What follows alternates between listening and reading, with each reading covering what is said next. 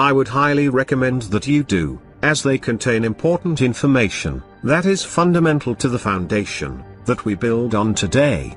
You are welcome to link to them now, but I have also provided links to them in the description below, should you wish to watch them at a later time. In today's video, we will focus on the time period, preceding the celestial events, as described in our previous video. In Matthew 24 verse 8, Yeshua calls this period of time, the beginning of sorrows.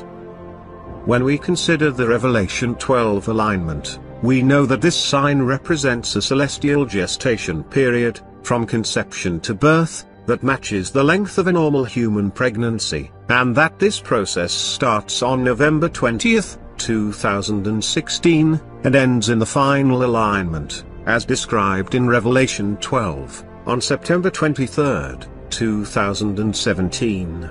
November 20th matches the heavenly conception of Jupiter in the womb of Virgo, while September 23, 2017, signals the completion of the alignment, which occurs two weeks after Jupiter is born, from the Virgo constellation.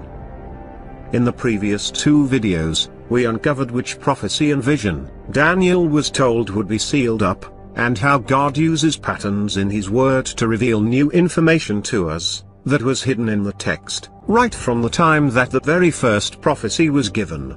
In the second video, we specifically looked at how our solar system, forms part of the prophecies given in God's Word, and what events are likely to occur in the heavens, in September of 2017.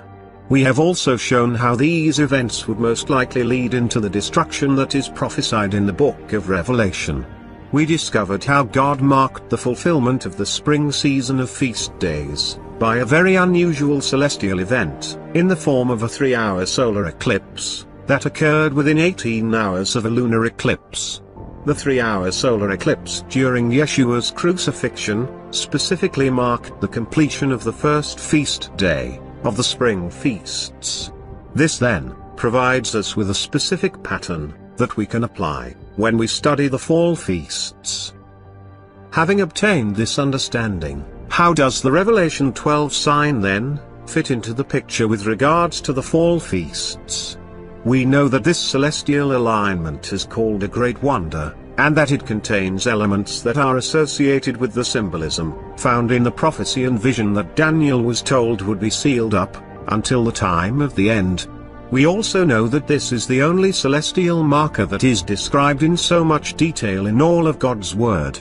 If the pattern, that we recognized during the spring feasts is reliable, we will expect this marker to signal the completion of a specific feast day in the fall season.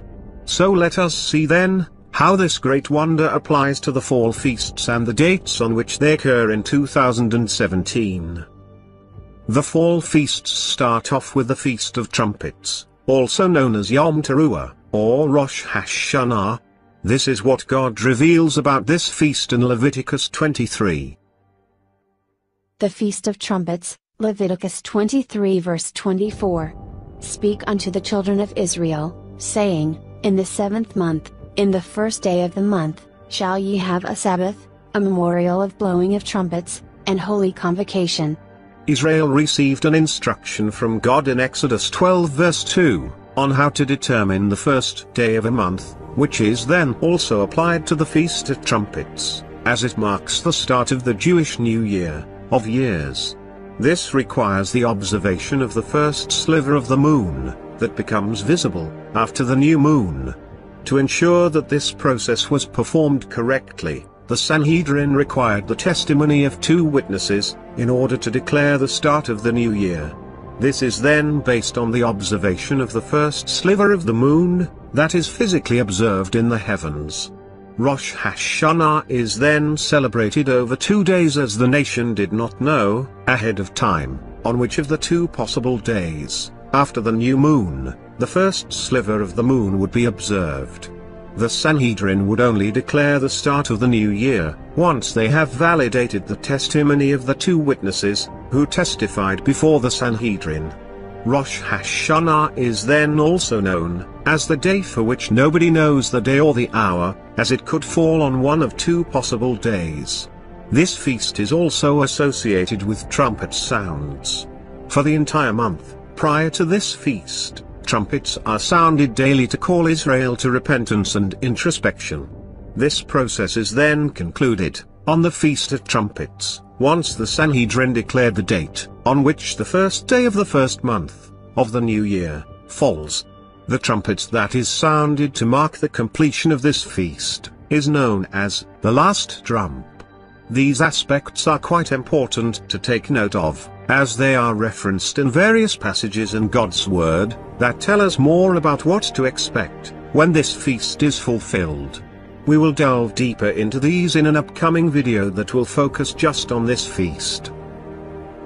The period of time during which the Feast of Trumpets is then celebrated in 2017, is from sunset on September 21st to sunset on September 23rd. The sign of Revelation 12 reaches its final alignment as described in Revelation 12, at sunset on September 23rd.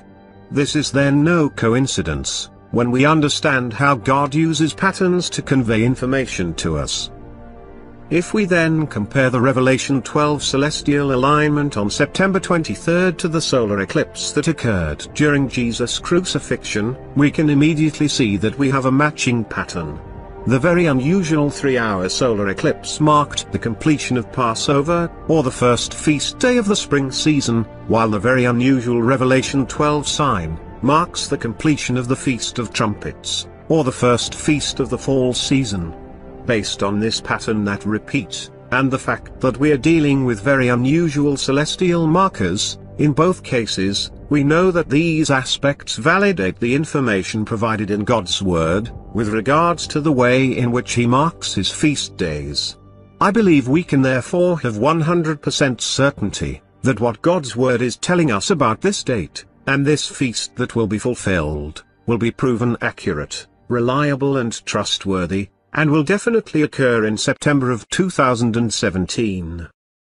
So let us consider, in more detail, the time period leading up to this point, and what I believe God's Word is telling us, about this time. In Matthew 24, and in Luke 21, Yeshua's disciples asked him about the time of the end, and the signs that will accompany this period of time. This was their question, as recorded in Matthew 24. Matthew 24 verse 3. And as he sat upon the Mount of Olives, the disciples came unto him privately, saying, Tell us, when shall these things be? And what shall be the sign of thy coming, and of the end of the world? Yeshua started his response with the following passage.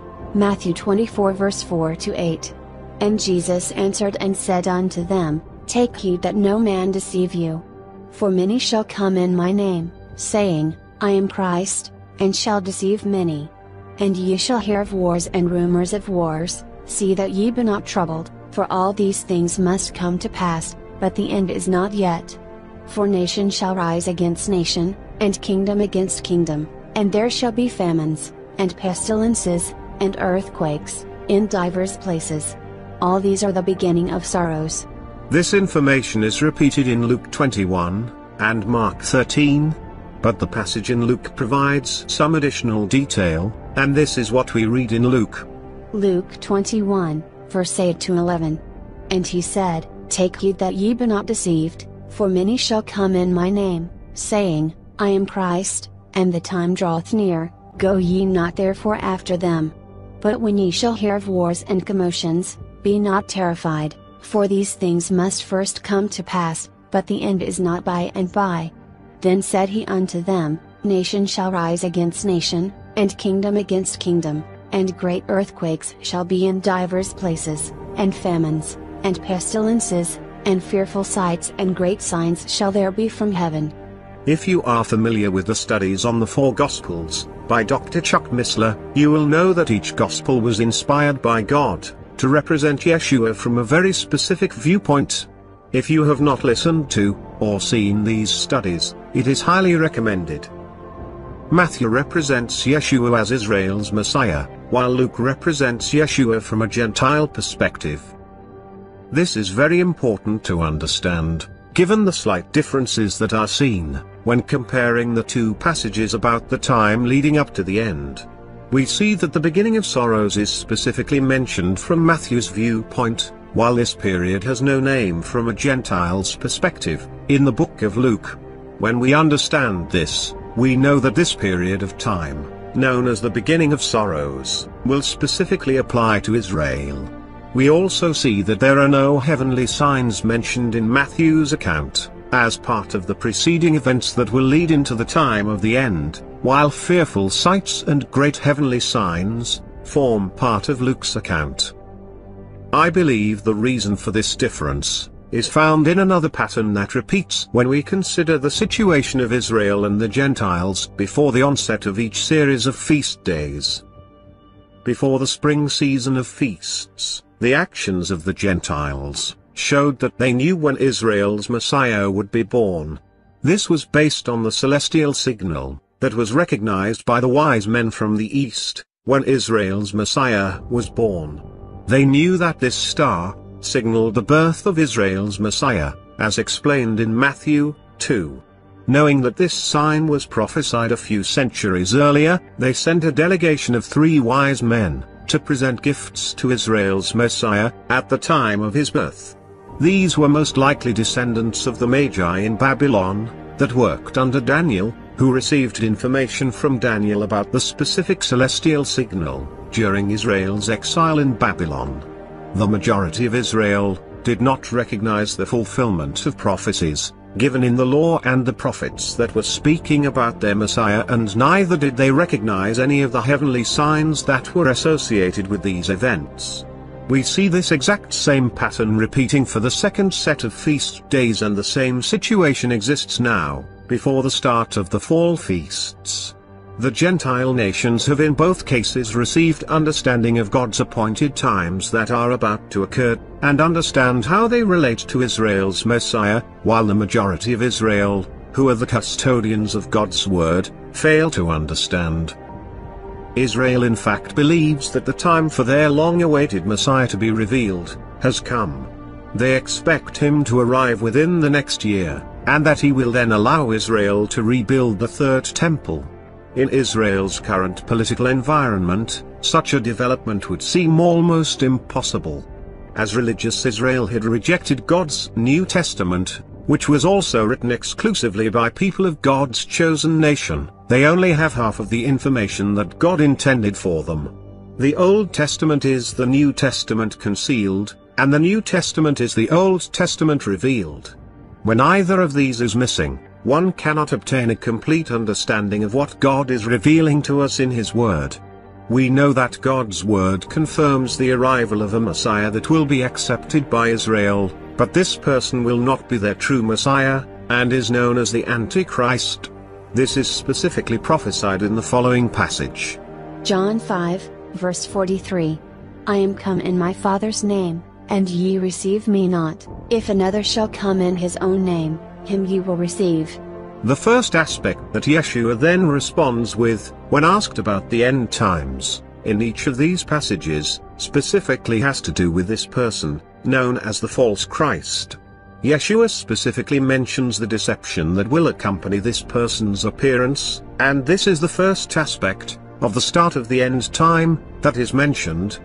When we consider how this would apply to the nation of Israel, Given the rest of the information around the timing of this event, this will be someone who will be accepted by Israel, as their Messiah, right at the onset of this period, known as Jacob's trouble. This in my opinion, will also happen to fulfill God's word about this person and the role that he will play in God's plan for his chosen nation. We see in Daniel that the first thing that is mentioned about him, has to do with the confirmation of a seven-year contract, or treaty. This period of time also matches the missing week of years, of the 70 weeks that were determined upon Israel, that still remains to be fulfilled. 69 weeks were fulfilled between the decree to restore and build Jerusalem, and Israel's Messiah presenting himself to his nation on the back of a donkey. The one week of years that remain, is then known as Jacob's trouble. This is what we read in Daniel, chapter 9. Daniel 9, verse 27.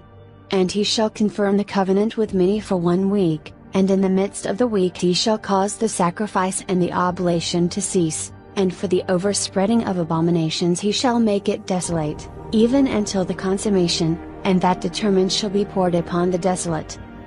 It is important to keep in mind that the seven-year covenant, is made with many nations, at the beginning of this period of time.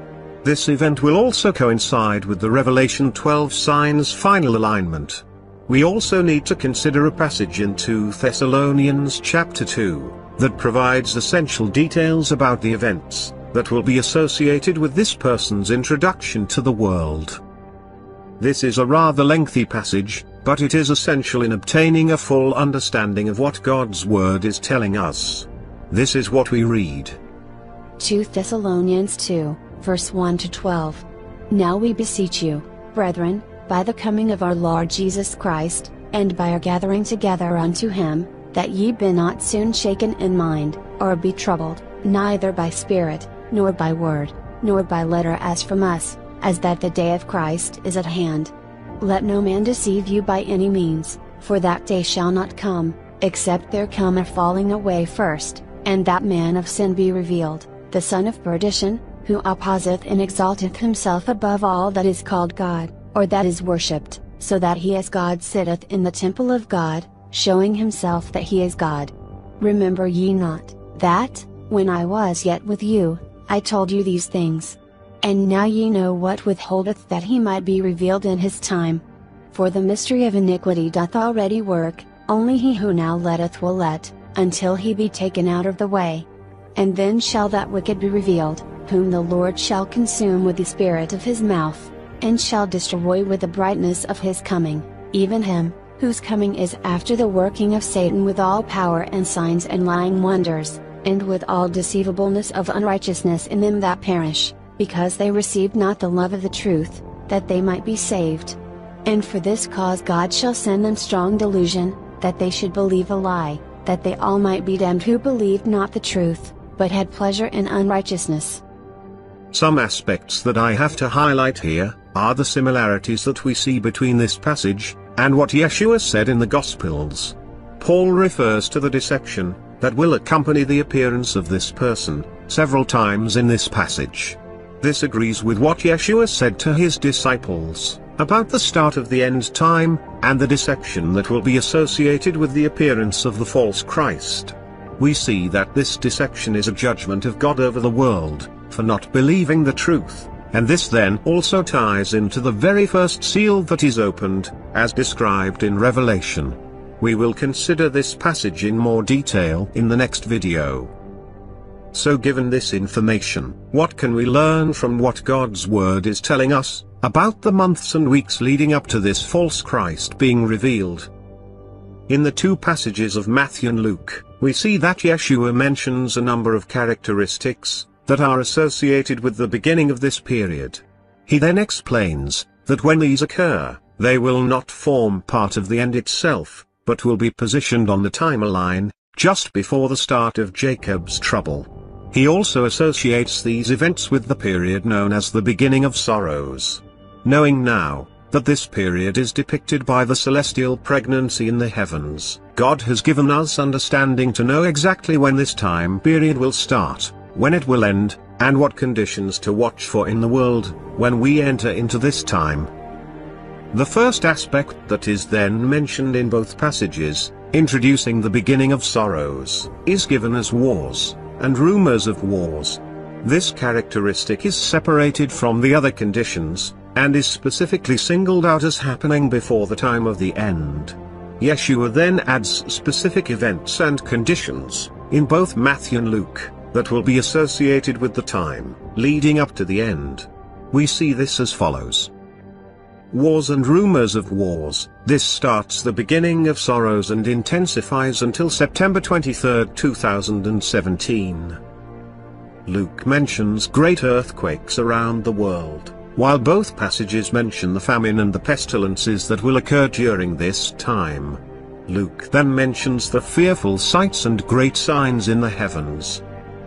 We know that the great signs in the heavens, are associated with the final two weeks, leading up to September 23, 2017, when we understand what the sealed up prophecy and vision, spoken of in Daniel revealed to us. This is referencing the planetary collision, between Jupiter and Nibiru, that is scheduled to occur as soon as Jupiter is born from the Virgo constellation. When we now look at what is written in Daniel 9, verse 27, this tells us that this false Christ will put an end to the war, and bring relief to Israel that will be in a desperate situation of experiencing increasing sorrows. The war will be ended, and a covenant will be established between the Antichrist and the world. At this point, the nations of the world will find themselves in the middle of the Third World War. Israel will also be heavily involved, or at least affected by the war, as this time period is specifically prophesied over them, as a nation. All of this will in my opinion, lead into the great deception that will be poured out over the world, when the war will be abruptly ended by the false Christ, on September 23, 2017. The fact that this person will be able to enforce the covenant with the nations, at the beginning of the week, shows us that he will not use diplomacy, to convince the leaders of the world, to lay down their weapons.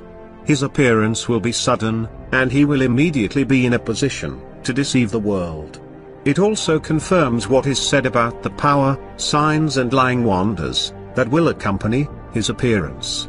I believe the only way in which a person would be able to convince the entire world, that they should submit to him, right after his presence is made known, would be to have supernatural powers and abilities. How else would it be possible for this person to establish a covenant with the world, as soon as he is revealed, and his presence made known to the nations? I believe that Israel will welcome the arrival of this person. He will bring them much needed relief in their desperate situation of sorrows, and this will convince them, and at the same time deceive them, into believing that the person before them, is their long-awaited Messiah. There is however another aspect about his appearance that we have to keep in mind. This is also found in 2 Thessalonians, chapter 2. We see Paul saying, that this person will only be revealed, once a withholding force is removed. According to God's word, the false Christ is prevented from stepping forward, until a certain condition is met. We will study this in depth in the next video, as this is a lengthy subject to cover and has caused much debate and arguments in the body of believers. So in summary, what can we expect to happen in the months leading up to the fulfillment of the Revelation 12 sign? based on my understanding of God's Word, and considering the information in the passages that we have discussed today, I believe that the Revelation 12 sign marks the start of Jacob's trouble, a seven-year period, that is twice referenced in the book of Daniel. This is the one week of years that still remains to be fulfilled. I believe that the Revelation 12 sign, also marks the end of the church age, and the introduction of the Antichrist to the world. It will also mark the beginning of God's judgment of great deception that will be poured out over those who did not believe the truth. The Antichrist's revelation and the events surrounding his revelation will form part of the strong delusion that is written of in 2 Thessalonians chapter 2.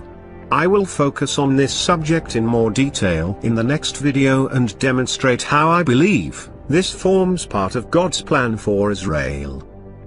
At the time that the Antichrist is revealed, I believe the world will be engulfed in the Third World War, with many nations taking part in this conflict. Israel will be caught in the middle of this conflict, and they will be desperate for their Messiah to save them out of it. They will be so desperate that they will accept a Messiah that comes to them in his own name, and not in the name of our Heavenly Father. I believe the Antichrist will abruptly end this war, when he steps onto the scene accompanied by great signs and lying wonders, to introduce himself to the world, and to bring relief to Israel. This will put an end to Israel's sorrows, that will intensify in the months leading up to this event, as prophesied over them in Genesis 3 verse 16, and Revelation 12. This period, known as the beginning of sorrows, that precedes the beginning of Jacob's trouble, I believe was specifically planned by God to prepare Israel for accepting the false Messiah, and it will start with World War III breaking out, on, or around November 20th, 2016, and intensifying over the 10 months leading up to the Antichrist stepping forward. I believe that after the Antichrist is revealed, the Third World War will be exchanged for another kind of war, during the 3.5 years that follow. During this time, 25% of the Earth's remaining population, will be put to death by the Antichrist, through his war against those who refuse to accept his mark, and to bow to his authority. Exactly what it is, that will trigger World War III to start in late November of 2016, I do not know, but we know that there are several points of extreme tension currently between various powerful nations that could spark a nuclear armament exchange. As we move closer to this time, I believe this will become evident. Accompanying this war will be massive earthquakes, occurring in various locations around the world. I will expect these to be of magnitude 7 and higher. The frequency at which these will occur, will also increase as the time for Jupiter's birth from Virgo, approaches. We have already seen the frequency of magnitude 5 and higher earthquakes increasing in the months between July and September, when this video was released. There will also be food shortages and an increase in disease around the world. The Zika virus may play an important role in this, as it would seem to be a genetically engineered virus, that is set to cause havoc around the world, and to target specifically the unborn, pointing once again to the dragon, that wants to devour the child as soon as it is born. With only two weeks to go until the end of this war, or between the dates of September 9th, and September 23, 2017 we could then witness the collision in the heavens between Jupiter and the unknown celestial body known as Nibiru. This will cause distress and perplexity among those who do not believe God's word, and who believe that everything around us came about as a result of chance. Considering the vastness of our solar system, how is it possible that two planets could collide? For those who know that God is in control, and has planned these events from the foundation of the heaven and the earth, as described in Genesis 1, it will be confirmation of the reliability and truthfulness of God's word to us, and the awesome blessed hope that await those who witness these events with gladness in their hearts. In the next video we will look specifically at the events that I believe will occur on September 23, 2017 and what God's Word tell us about the Feast of Trumpets. How will the events that play out in the day or two, leading up to the 23rd of September, assist the Antichrist in convincing the world of his identity, and to bring Israel the much needed relief, that they will desperately desire at this point? How will it be possible for him, to be unknown on one day, and to have the world at his feet on the very next day, and to obtain the authority for establishing a peace covenant with the world? Bringing an end to an intensifying world war. This is all coming in the next video, so stay tuned. Thank you for watching the third installment in this series of God's Roadmap to the End. If you are interested in more information about this, and if you do not want to wait until the next video is made available, please download a free copy of God's Roadmap to the End, ebook, which is linked in the section below.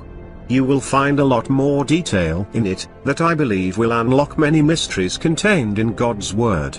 If this video is playing in a YouTube channel other than God's Roadmap to the Ends, please search YouTube for the name shown in the banner below, all the links that are referred to in this video will be found there. I believe this information was preserved for those who love our Lord Yeshua, and who are looking forward, with all their heart, to meeting him in the clouds. I also believe that God is allowing us to discover His plans for the world in the coming months and we will provide more information on this in the next video. Please share this information with as many people as possible. It may be controversial, but I believe time will prove that God's word is true and reliable. Please also consider subscribing and liking the video, and check back soon for the next episode in this series. Until next time. God bless.